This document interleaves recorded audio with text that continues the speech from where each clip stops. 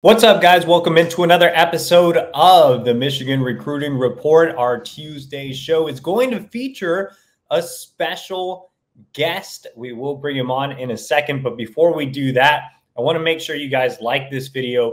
Subscribe to our YouTube channel completely for free. Get updates every time we drop new videos. I just posted Brady Hart highlights from Future 50. A lot of commitments coming in. So make sure to subscribe to the YouTube channel, like this video, and also, if you want even more insider Michigan recruiting information, head over to thewolverine.com, subscribe today, $1, two months. Use the promo code UM1 exclusively for our YouTube viewers. Again, the promo code is UM1. That gets you $1 for two months. All right, guys. So, a lot going on with Michigan recruiting. Obviously, the month of June was very busy. July could have some announcements. So we're going to have a special guest today, and that is on three national analyst Chad Simmons. What's up, Chad? Welcome into the show. Look, I just saw you, man, down sweating to death down there in uh what IMG Academy for Future 50, man, down there. But uh doing well, man. No busy times for both of us, man. So yeah, just kind of grinding away here early in July. No, yeah. Uh, Chad's been uh, awesome to work with here at On Three and has a ton of scoops. Uh, him and Wiltfong and the rest of the national team do a great job for us on the network and obviously bring some of their inside scoops over to the wolverine.com as well. Chad, let's start off there. We were in Florida together at Future 50. It was very hot, but a lot of talent on the field, including top 100 Michigan quarterback commit Brady Hart. I mean, you spent a lot of time watching the quarterbacks on day two during the camp. And obviously, you've been familiar with Brady Hart for a while. We were even on the phone as the commitment happened uh, behind the scenes for Brady Hart in Michigan. What were your thoughts uh, after watching Hart perform at the Future 50 event? Yeah, you know, I'll say this, EJ, probably for me, just continues to get better. You know, I think, you know, I've seen him for, you know, I would say now, what, five, six times over the last what nine months or so, nine ten months. Now, I would say every time I see him, um, just a little bit better. I think from whether it be just accuracy, consistent consistency, uh, still filling out the body, getting stronger to the confidence level. Um, and I think for me, just over the weekend at Future 50, obviously our colleague Cody Belair made him the top guy on day two for us at on three. And uh, I think he earned every bit of that. Had a very strong showing uh, day one, day two. Again, very consistent. And I think for me, that was probably my biggest takeaway. Just continues to grow, continues to get better, uh, continues to just um, just always improving for me. How do you see uh, Brady Hart fitting in at Michigan? You know, in that pro style offense. Very well. I think obviously I think that style fits him. I think if he needs to, you know, escape a rush or, move the chains on uh, a third and short or, or, maybe buy some time in the pocket, he obviously can do that. But I think he's at his best when he has time to set his feet, square shoulders, you know, drive the ball down the field make some plays. You know, I think uh, the biggest thing for me about him fitting in is just that that leadership quality. You see that like in a JJ McCarthy and uh, what he did there, where the team played behind him and played for him. I think you know, Brady's that same kind of player, that same kind of leader. I saw him in the state championship game uh, last December uh, when Cocoa won it all, and they'll have a great chance to do it again his junior year and senior season as well. They're a great program uh, on the coast of Florida. Um, but I think the fit is really good for him and just kind of his skill set and what he does best.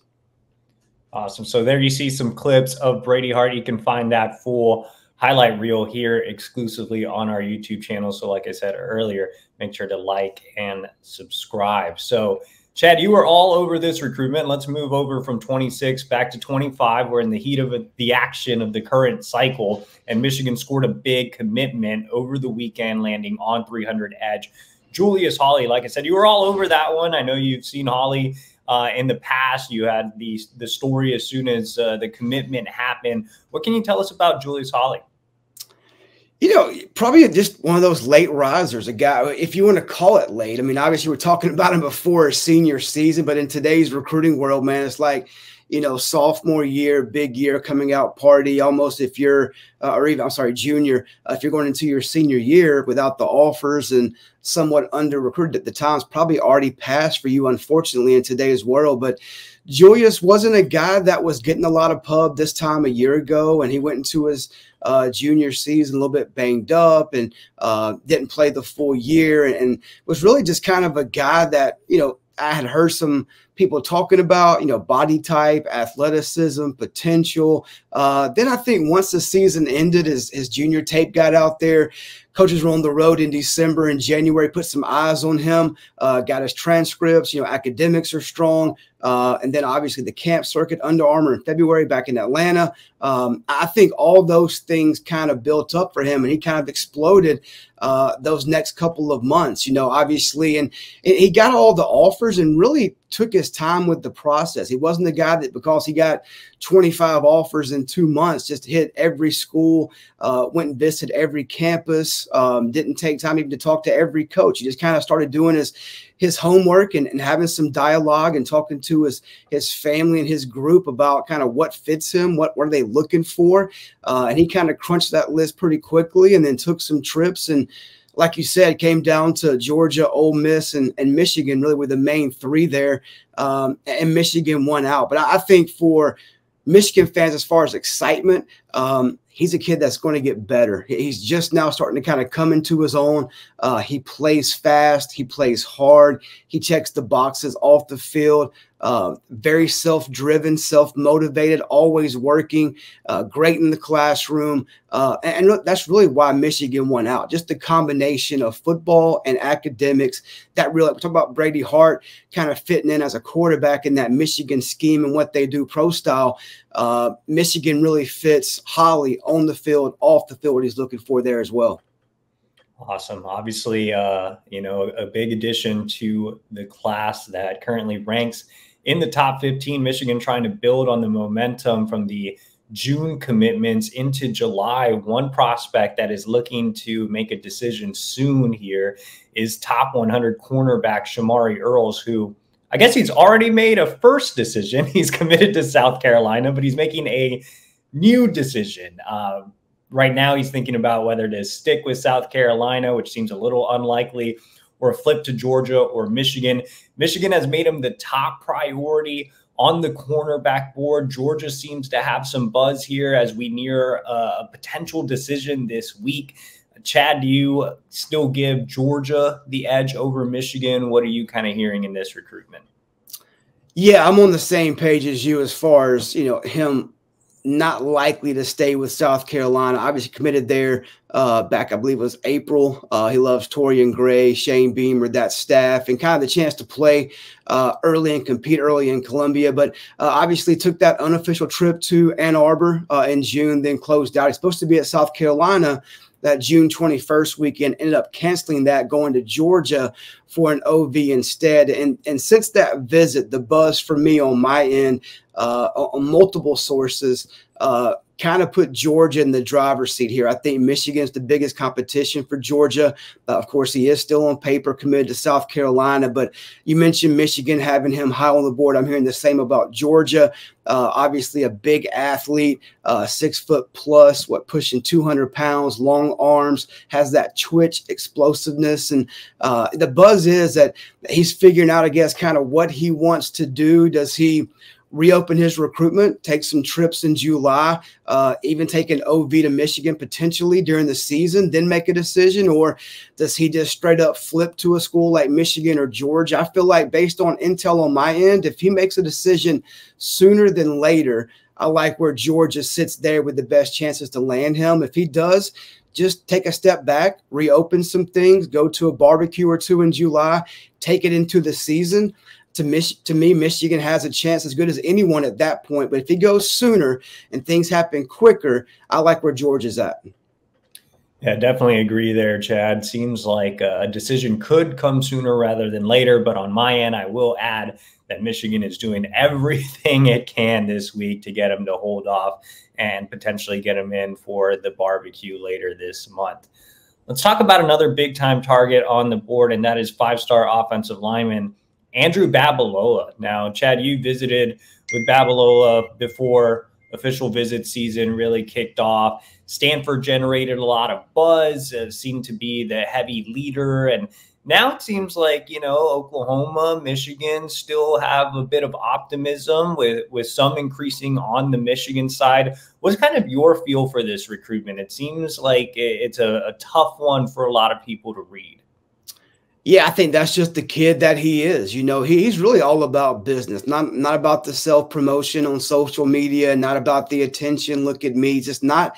That's not him. You know, it's not about really so much the brand per se or the NIL for him.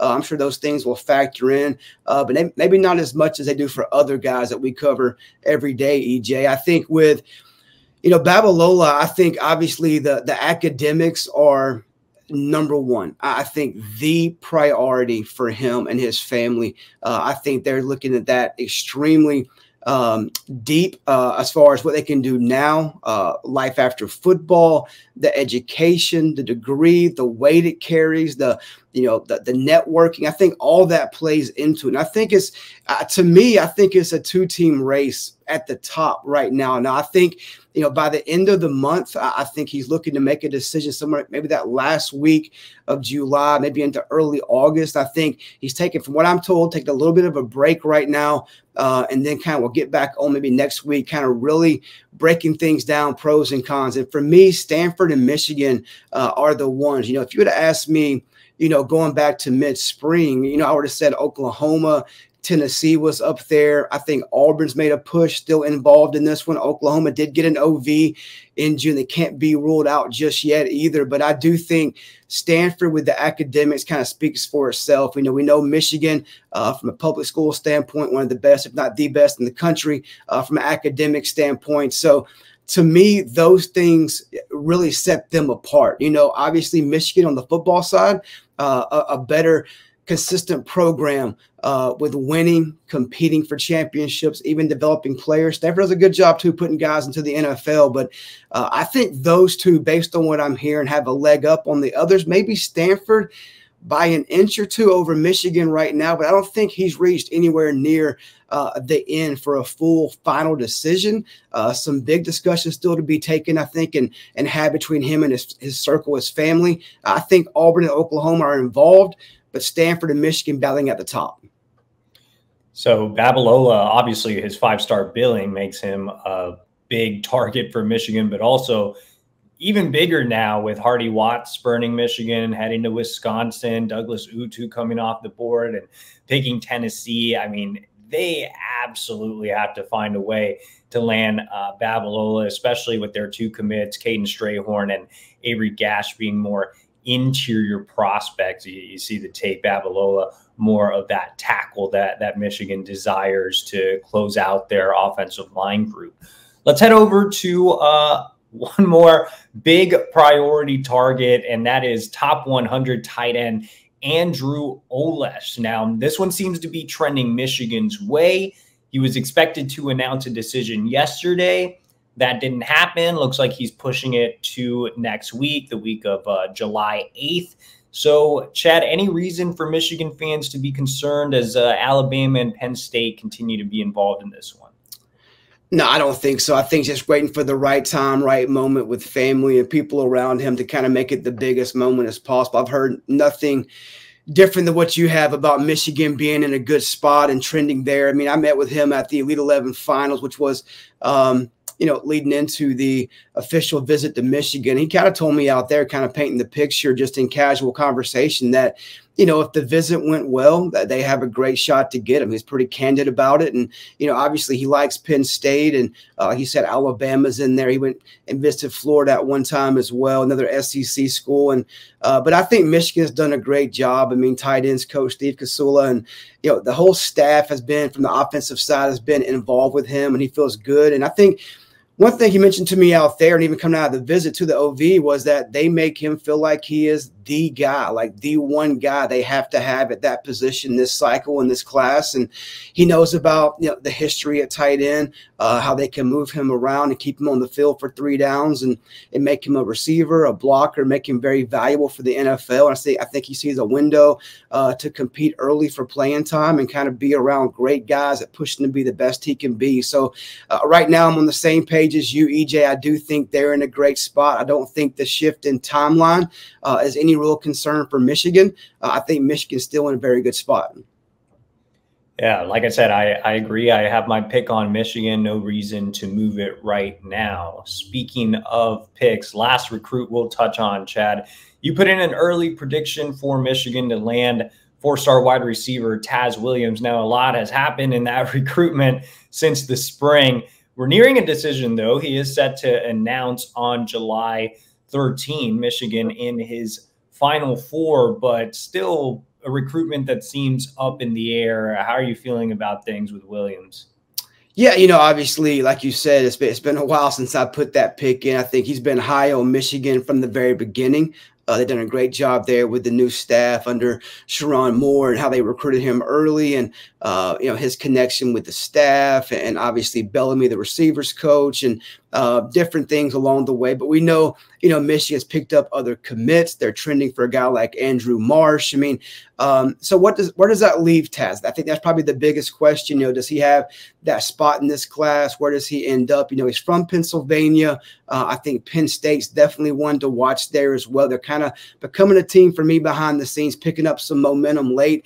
Uh, SMU, I've heard also mentioned to, to watch with him as well. Um, like you mentioned, July 13th, right now, his commitment date. Um, that's one I'm still digging. I don't think he's made that final decision yet either. I think uh, he's still kind of talking to multiple schools, multiple staffs, figuring out, you know, who wants him, where does he fit in at.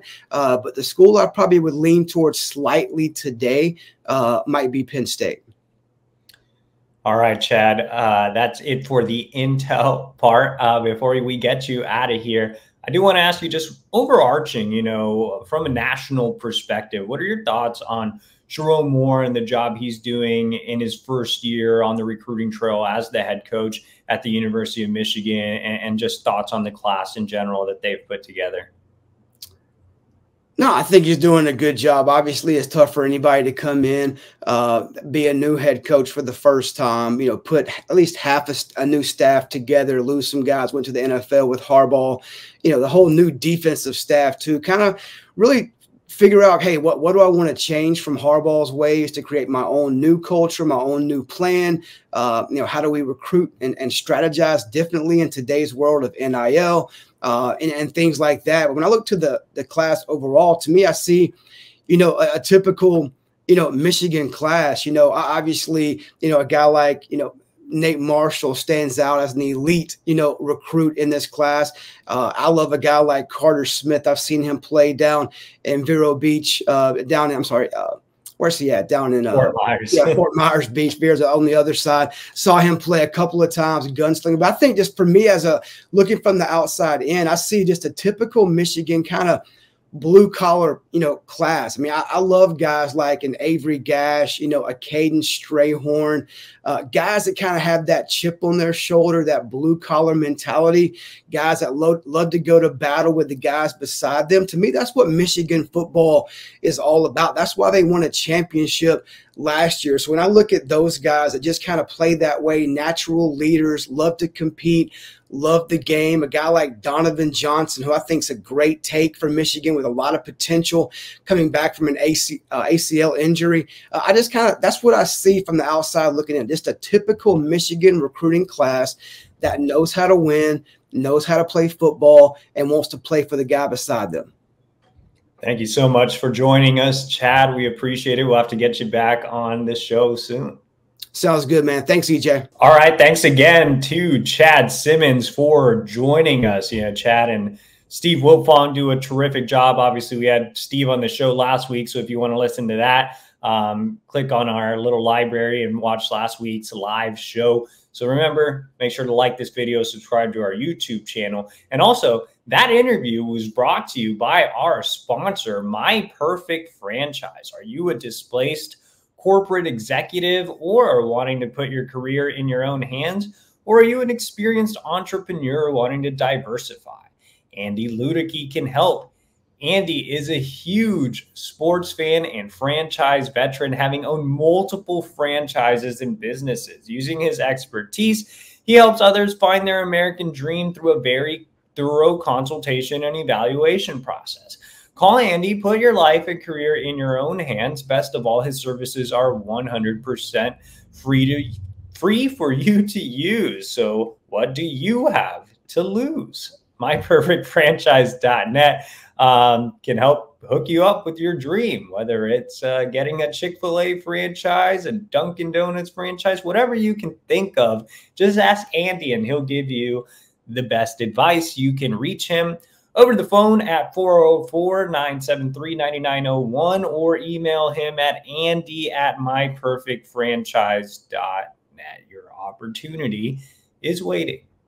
Okay, so Chad kind of covered uh, a lot in terms of what's going on with Michigan recruiting lately. So just some quick hitters here before we get out of today's show. Um, one, let's go back to Future 50 really quick uh, and, and start off there. I had a chance to go down to IMG Academy for a couple of days. Chad kind of hit on it, but Brady Hart, man, had a great performance. You know, Michigan's quarterback of the future, top 100 commit in 2026.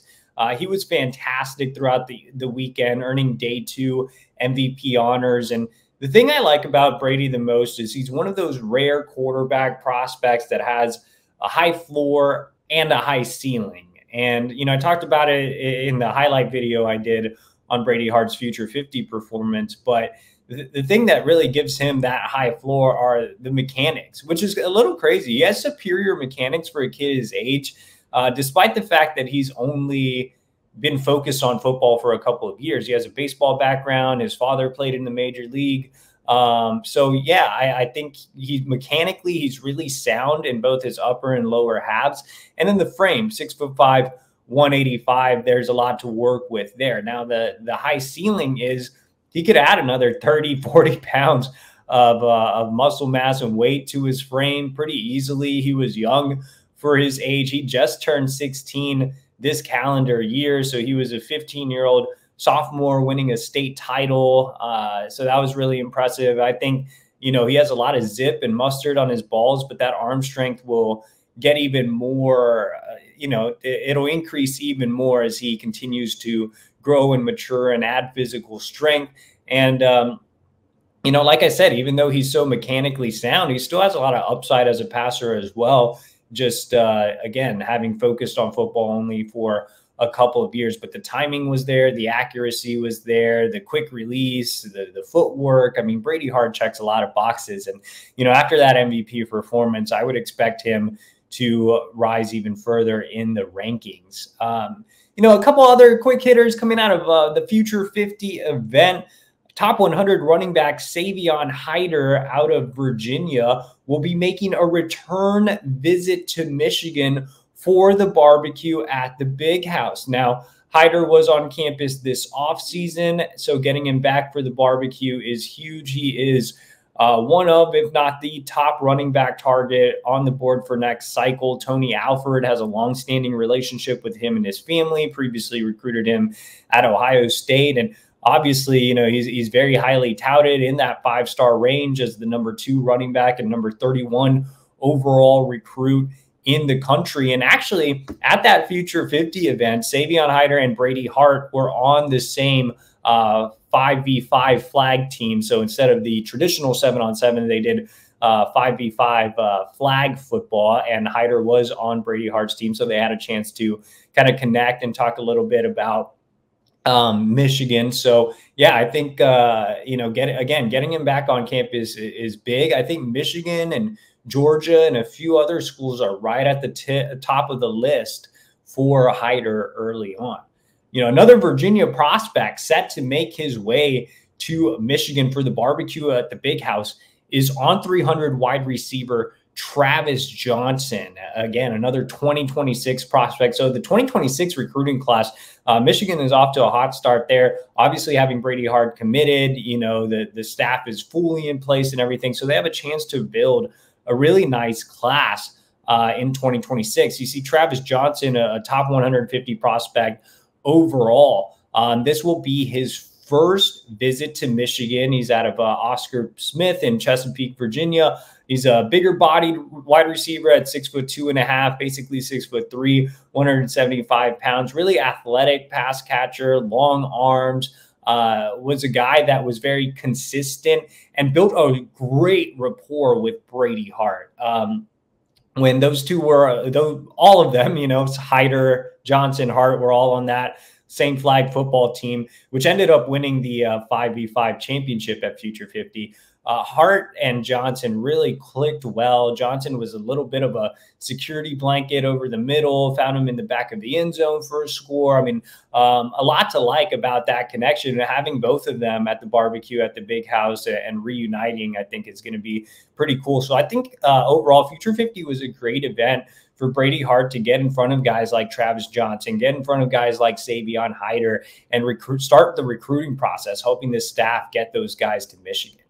Um, aside from uh, seeing the Future 50 event, I was also in Florida to spend some time with 2025 Michigan quarterback commit Carter Smith. Now, we've talked so much about Brady Hart lately that I think now Carter Smith's flying a little bit under the radar, but he's so happy to be part of the class. He's still recruiting hard behind the scenes. So I didn't get a chance to see Carter throw. He actually had thrown earlier in the week, so he was giving his arm some rest before throwing again on Monday. So he's continuing to work with a private quarterbacks coach. He was up in Jacksonville uh, earlier in the offseason working with the same trainer as Brock Purdy. Now he's down um, closer to Fort Myers, where he's from, working with a different private quarterback coach who actually uh, was the trainer of Gardner Minshew. So getting a, a couple different minds involved in helping him refine mechanics and uh, get some more hip work and uh, just being a guy that's uh, a little more polished as a passer. That's the big thing I think a lot of people want to see from Carter Smith is can he take the next step and be that refined passer? Now, uh, as a runner, he's dynamite. He's one of the best running quarterbacks in the country, you know, if not the best. I mean, he's an absolute playmaker. There's a reason he was the Gatorade Player of the Year uh, last year in the state of Florida. So, you know, you can't forget about Carter Smith. I think this is uh, quite the dynamic duo, and they kind of complement each other well. And Carter Smith, you have a really dynamic, high upside athlete that uh, has a, really strong arm through in the 90s uh, as a baseball player uh, as a sophomore baseball player. So the arm strength is there and the athleticism is there. And then you kind of transfer over to Brady Hart and you have a tall, athletic pocket passer that has that, you know, polish as a passer. Um, not the runner at all that Carter is, but still athletic around and move, still athletic enough to move around in the pocket. And, you know, the cool thing about Carter and Brady is they, uh, you know, have a good friendship. Carter recruited Brady to Michigan. So they're, you know, really looking forward to getting to Ann Arbor and battling with each other. And there's no animosity or jealousy or anything. They're just really good kids that fit the Michigan profile that want to go in there and compete. So I'm really excited to see uh, Carter and Brady once they suit up in the wing helmet. And last note here before we get out of here is Philip Wright has set a decision date. So, three star wide receiver in the 2025 recruiting class. Actually, one of the guys that Carter Smith has been on. Uh, Carter was uh, on campus for the spring game along with Philip Wright and did some recruiting there. And, uh, you know, I, I think right now Michigan is still the team to beat. You know, Georgia is in there. Uh, they were named a finalist. They had him on campus for an official visit but I don't think they're pushing as hard as Michigan. You know, LSU offered, but they haven't made him a top, top priority. He took official visits to both Baylor and Georgia Tech this summer, but it seems like both of those schools are out of it. So I think Michigan is clearly the team to beat here. I've had my prediction on the Wolverines for a couple of weeks now. I still feel confident there. And, you know, you, you heard Chad talk about where does Taz Williams fit that's the big question mark, man. Michigan has the lead with Philip Wright. Seems like they have the lead with Andrew Marsh as well. That's two slot receivers. You already have your bigger receiver in Jacob Washington. So Taz Williams actually has the same decision date as Philip Wright, July 13th. So, you know, I I know some people have asked, you know, will Michigan get both Taz and Philip Wright? Right now, I would lean more towards them just getting Philip Wright. We'll see what happens with the Taz Williams recruitment, but I feel pretty confident in Philip. And uh, man, he's a speed demon, 10 4 6, 100 meter. I think that's the type of game changing speed you need. I know he's just a three star prospect because he's very raw and not refined at all as a route runner, as a pure receiver, but the speed um, is absolutely fantastic. I mean, he, he's uh, blazing out there. So um, that kind of does it for tonight's show, guys. I will be back tomorrow for the Q and A uh, show. So make sure to tune in, get your questions in. In the meantime, in between time, like this video, subscribe to our YouTube channel for free, and also remember to subscribe to the Wolverine.com. Recruiting changes daily, so to keep up with everything, head over to the Wolverine.com, use the promo code UM1, sign up today, $1 for two months. Yeah, again, use the promo code UM1. It's $1 for two months for all your premium insider recruiting information. All right, guys, like I said, I'll see you tomorrow for our Q&A show.